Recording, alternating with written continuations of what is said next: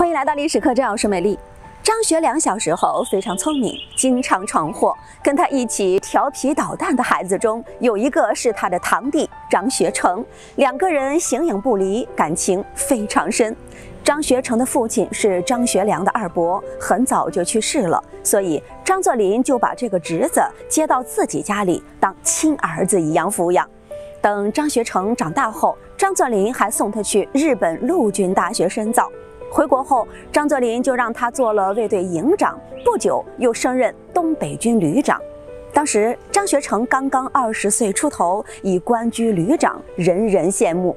但是他的心里却总是憋着一股劲儿，想要跟一个人比个高下，就是他的堂哥张学良。当时的张学良人称少帅，意气风发，风流倜傥，风头不可一世。张学成认为自己的才干并不在张学良之下，所以总想干出点大事儿来证明自己。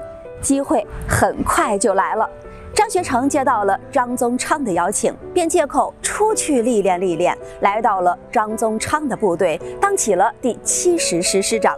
张学成本来想借着这个机会大干一场，扬眉吐气。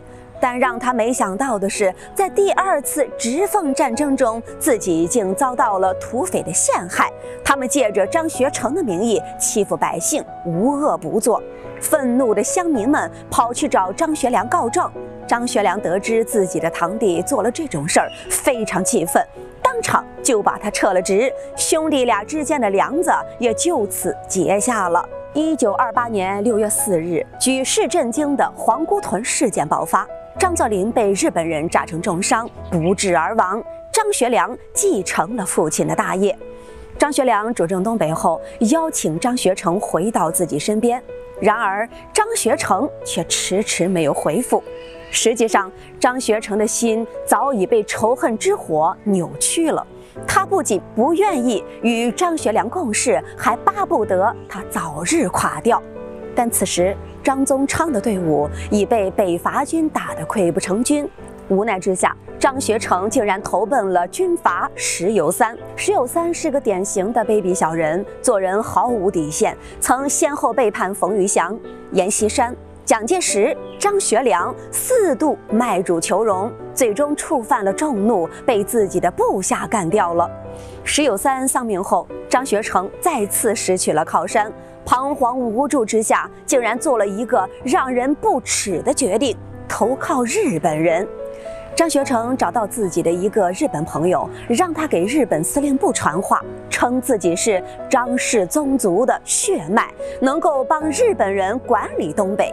还说我和张学良从小一起玩到大，他的脾气性格我一清二楚，只要能帮到你们，我知无不言。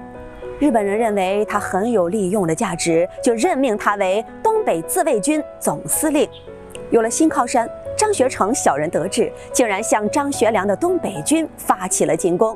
面对张学成的不断挑衅，张学良的部下谁也不敢轻举妄动，只能任由他们嚣张跋扈。辽宁警务处长黄显生赶往北平，把这件事儿告知了张学良。张学良听后气得浑身颤抖，最后说。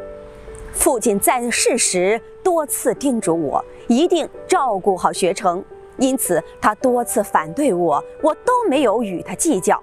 可现在他竟然投靠日本人，成了国家的敌人，留不得了。有了张学良这句话，东北军再无顾忌，一举消灭了这股日伪军，击毙了张学成。好了，欢迎点赞关注历史客栈，王美丽每天都在。